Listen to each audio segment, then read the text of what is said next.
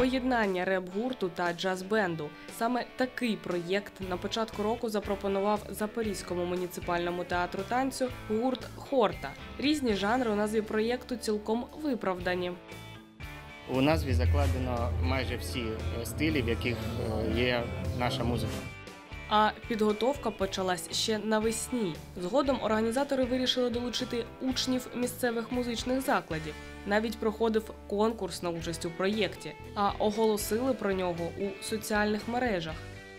Звісно, на нашу електронну адресу всі бажаючі учасники присилали свої бажання прийняти участь у цьому проєкті. І потім е, ми зібралися е, комісії, е, ну, таке журі. Е, І, звісно, від, відібрали талановитих дітей, Вокалісти Марія та Іван кажуть, вирішили долучитись до концерту через любов до гурту Хорта та мрію виступити на великій сцені.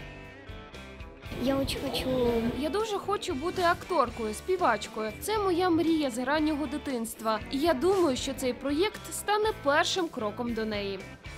Учасники гурту кажуть, вирішили долучити юних музикантів, бо пам'ятають свої перші кроки в музиці, перші виступи на великій сцені та емоції, які вони відчували в той момент. Ідея була в тому, щоб залучити діт- дітей на велику сцену, щоб вони відчули, навіщо вони взагалі займаються музикою. Тому є і е, у нас маленькі інструменталісти, щоб вони розуміли, як грає великий склад оркестру. Є вокалісти, які виходять з нами на сцені, щоб відчути насправді той смак колективу, енергетику і розуміння, навіщо ти цим займаєшся.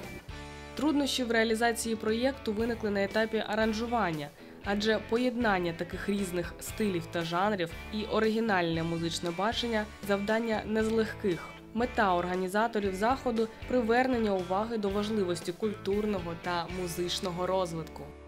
Повинні з'являтися майданчики, повинні з'являтися нові проекти, нові колективи і Нові колаборації. нові колаборації, щоб творчі люди розуміли, навіщо вони займаються тим чи іншим. Хтось співає, хтось грає, хтось пише пісні. І вони повинні розуміти, що це все повинно виходити на публіку.